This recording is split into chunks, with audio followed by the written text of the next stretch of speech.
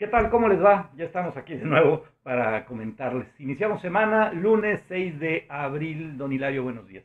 Buenos días y bueno, reiniciando Semana Mayor. Ya estamos dentro de Semana Mayor y, y el consejo es quedarse en casa. Y ni modo, en esta ocasión, los que gustan de salir y los que gustamos de ir a los servicios religiosos, pues no vamos a poder. No, pero eh, yo les recomiendo, y lo he estado haciendo por televisión, hay una variedad extraordinaria casi todas las parroquias de aquí de Hermosillo y del Estado están transmitiendo Así es, así a través de redes sociales eh, sus misas o algún tipo de, eh, de presente, o sea, de, de informe. Así es, así. Y, la- y la- las ceremonias importantes, miércoles santo, con la lavatorio de pies, que Sí. no se van, muchos no se van a poder hacer, obviamente, lo van a hacer en privado los sacerdotes, y ahí podemos se- seguir y... y Normalmente hacer va a ser todo en privado, sí. Oye, ¿qué te pareció el... Dicen que fue un informe del presidente. Ah, yo, yo la definición que le, que le veo es que es, es- vas a darle con codo, ahorita, ahorita te voy a recordar, la Ajá. mesa, ¿No, no, no toco? no, no, no, la toco. no. Traigo guantes, ¿eh? Sí, no, no, Ahí no, me refiero porque se mueve, Ah, perdón, perdón, perdón. ahí, ahí, ahí te yo agarrado. Ah, eh, eh, a mí la definición dice, no fue más de lo mismo, fue lo mismo. Sí, o peor. No, no, no hubo más, no hubo más, fue lo mismo. Peor porque había una expectativa de que se pudiera ayudar realmente a toda la economía de este país. Un rescate económico. y este, que era lo que se esperaba. Y no fue exactamente lo mismo. Y todavía salió ahí a, a exhibir sus proyectos, su Tren Maya, eh, que va a generar Obras no sé cuántos faraónicas, ¿no? miles de empleos, eh, sus refinerías de esas que ya nadie quiere comprar ni vender petróleo, y por supuesto su aeropuerto. Pero le fue muy feo, le fue muy No, mal. no, pues le es que- fue muy mal. Es que ahora dice que va a crear dos millones de empleos. Ah, Pero si va a ser igual que la vez anterior que consideró empleos las becas de los ninis, dijo, son empleos. Claro. No, no son mentiras, eso no es empleo. No, o van a ser los mismos, van a ser los mismos. Además, mm, dos millones, no. Ah, eh, los expertos dicen que si acaso podrán ser 600 mil, pero los que se van a perder son muchísimos. Más de un millón de entradas y se prolonga más allá de mayo. Yo tengo Hubo, hubo mucho malestar. hubo yo mucho dos malestar. empresas de gente Sí. cercana, uno que tú me platicaste, Ujú. este, de que, que renta trajes Ah, claro, sí, sí. cerrado, Cerrado. y otro muchacho que vende este, persianas, esas cosas, ya les dijo a sus trabajadores, si para finales de abril no hay cambios, Adiós. adiós porque no tengo dinero. Claro, es que así es. Lamentablemente no hay. Son empresas que viven al día, a la semana o al mes. Entonces, bueno, pues hay que, hay que, tienen que tomar medidas y las medidas son cerrar y darle la gracia a los trabajadores. Dale, dale, gracias. Y si no tiene dinero para, para indemnizar, pues llévense las cosas, ¿no? Oye, A eh, yo estoy muy sorprendido de las reacciones que se han dado en torno a este informe del presidente. O sea, fue por demás la agresión que recibió de gente pensante, de muchos periodistas, de muchos líderes de opinión, intelectuales. intelectuales, empresarios. O sea, que se tiraron durísimo contra el presidente y hoy todavía el presidente en la mañana, en su mañanera, dijo que lo que pasa es que quieren dar el banderazo para volver a insta- instaurar la corrupción. Eso salió a decir el, el que quería la tregua, el de la tregua, dijo, dijo que no hay otro plan y que, su- y que hay otros países que van a seguir su, su estilo de trabajo que está haciendo. Digo, de veras, señor presidente. Pues sí.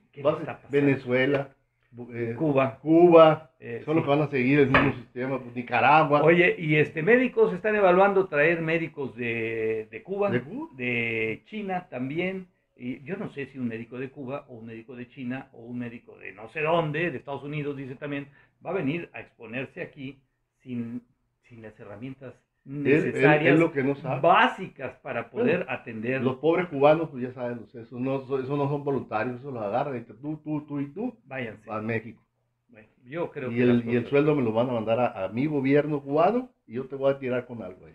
Sí, eh, se habló de una reactivación económica con más de lo mismo. No puede haber reactivación económica si el presidente no ayuda a la verdadera economía. O sea, está regalando dinero a ninis y a, a- a- en sus programas sociales. Eso no es reactivar la economía. Eso es ayudar a gente que está vulnerable. Qué bueno, pero eso no es todo. Sí, pero eso, esa gente no puede salir y no puede ir a gastar. Además. Además, o sea, o, o- No, o- pero además esa o lo gente que no. o lo que les da, no, para una situación de crisis no alcanza. Claro, y esa gente no genera un solo empleo. Pues no- un no- solo no empleo, empleo, no es el empleo. problema ahorita. es Y, y si no hay empleos, viene el círculo vicioso de que no hay impuestos. Y si no hay impuestos, el gobierno va a tener luego con qué estar, a menos de que empiece a, como Luis Echeverría, a soltar la maquinita de hacer dinero. Pues es lo más probable. La inflación se dispara. Es lo más probable. A lo que Hoy me preguntaba una persona a través del Twitter qué va a pasar con los repartos de utilidades de las empresas que se dan en abril y mayo. Empresas que hayan tenido un buen año y que hayan tenido una utilidad, que le hagan ese reparto a los trabajadores. Porque dice que las empresas también están ahí esperando a ver qué va a suceder. Se, descapitalizan, pues el problema es eso. Yo creo que todo lo que tiene de tesorería las empresas van a usar para sobrevivir o alargar la sobrevivencia, porque no se sabe bien a bien. Seguimos estando muy descuidados. Tú lo pusiste en tu Twitter que el sábado impresionante los carros que andaban circulando. Sí, sí, sí, sí. Subí un video de, que me hicieron el favor de enviar en el Luis Encinas y Periférico. Era un tráfico como cualquier día de la semana. Y, y, mira que se les está advirtiendo todo. Los centros comerciales se abarrotaron. Y luego la gasolina. El Consejo de, Estatal de Salud de estatal. proponía. Bueno, propone, pero dice que es una decisión federal. Claro. Y corrió la voz de que se iba, que iban a cancelar. Que era este, que racionaran la gasolina para que no saliéramos. O sea, si no tenemos gasolina en el carro, pues ya no salimos. Esa fue la brillante idea, que ahí sí de, permito decir que fue una tontería. Pero bueno, era, una, era, una, era una idea, era una propuesta pues todo mundo, todo Hermosillo y todo Guaymas y todo Obregón y todo salieron a las gasolineras a abarrotarlas porque se iba a acabar la gasolina. No pasó nada, por supuesto. nada.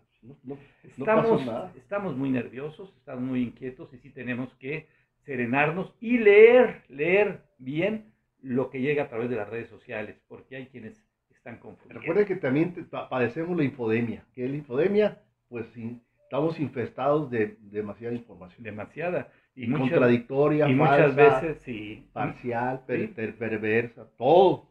Bueno, pues eh, ¿qué hacemos? Seguimos otro día pasado. Mañana nos vemos por aquí el miércoles o jueves. Nos vemos. ¿Dónde nos pueden encontrar? Eh, yo estoy en arroba Víctor Mendoza L en Twitter. Facebook Víctor Mendoza Yo estoy como arroba Hilario Lea en Twitter y en Facebook Hilario Lea Ruiz. Y nos pueden encontrar en, en Twitter también entre todos y entre todos Facebook. También estamos. Claro que sí. Les recuerdo nada más, eh, si salimos y vamos a algún lugar, importantísimo el tapabocas. Hay quien dice que no sirve para nada. Hay quien decimos que los países que no han tenido mayores problemas usan cubrebocas. Y China, China, ahorita todos los chinos, los todos. 1.300 millones, andan en la y calle. Y ya controlaron el mal allá. Y ya controlaron. Así que ya sabrá quién le hacen caso. Ustedes decidirán. ¿eh? Gracias, pásela bien, Víctor Mendoza. Hilario Le.